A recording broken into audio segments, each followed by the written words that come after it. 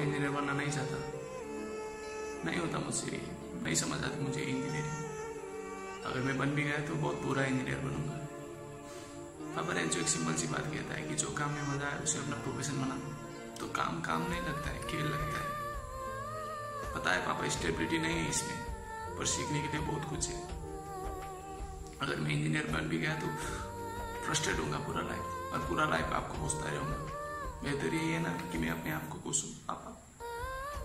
कपूर साहब ने मेरे कमरे पे एसी नहीं लगवाए थे, पापा। वो खुद गर्मी में सोकर मुझे एसी में नहीं सुखाए थे। अपने कंधे पे बिठा कर मेरे को जुमे नहीं घुमाने ले गए थे, पापा। वो वो सब आपने किया था। आप क्या सोचते हैं? आप क्या करते हैं? उससे फ़र्क पड़ता है, पापा। वो क्या समझते हैं? वो क्या सोचते हैं? उससे कोई फ़र्क